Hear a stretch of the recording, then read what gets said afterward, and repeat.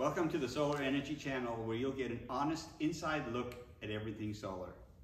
I'm Warren and with me today is Larry and we're going to talk about watts, kilowatts, megawatts, gigawatts, efficiency, all the crazy lingo that you hear when you hear uh, when we talk about solar and help you understand or make sense of exactly what we're talking about.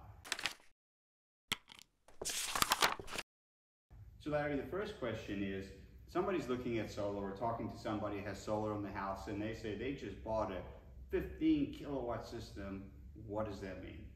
Yeah, so typically what people mean when they say that is if you take the number of panels times the watts per panel, that gets you the kilowatts or the kW size of your system. So Larry, help us understand what that means in terms of how many kilowatts or watts I need in my solar versus how many watts I'm using in my home. Yeah, so the watts sizing uh, for the modules comes from the, the module data sheet. Yeah. And what, what the manufacturers do is they test the modules at what's called standard test conditions. 25 degrees Celsius, 1,000 watts per meter squared of sunlight coming onto the panel. They test it at that time and say how many watts will this solar panel produce at that time. Now, if it's hotter or they're getting less sunlight, it could produce less power. If it's cooler or they're getting more sunlight, it could produce more power, actually go over its nameplate at any given time, depending on the actual conditions. Right, so just because it's a 300 watt panel doesn't mean it's actually going to produce 300 watt panels. Right. 300 watts per that panel. Right, not, not at every point in time. Sometimes it might be at 300 watts, it might be at 200 watts, sometimes it could even go over maybe 350 watts for a time if there's a lot of sunlight.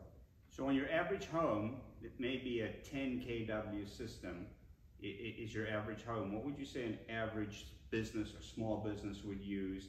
How do you, if somebody's talking to you about a 50 kW or a megawatt, how do you make sense of what size project they're talking about? Yeah, so in terms of production, what I would recommend is taking the system size, so a 10 kW system would be 10,000 watts, and taking that times 1.2 and saying, okay, that's about 12,000 kilowatt hours per year that it's going to produce of, of, usable energy for my home or business. Great. So if you're looking at your electric bill and your electric and you're using about a thousand kilowatt hours a month, that would be 12,000 a year, and that's probably the size system you would need for a 10 kW system.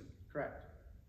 So megawatts, help us understand megawatts and gigawatts. Do we install megawatts and gigawatts when, when people are talking about those size systems? How big are those?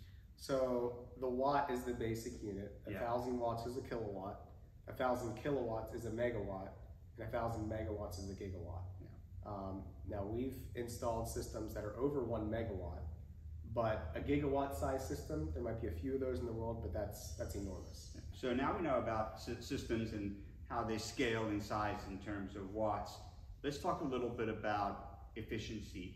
How efficient are solar panels and why are they that efficient? Most solar panels are rated at an efficiency rating of somewhere between 18 and 22 percent.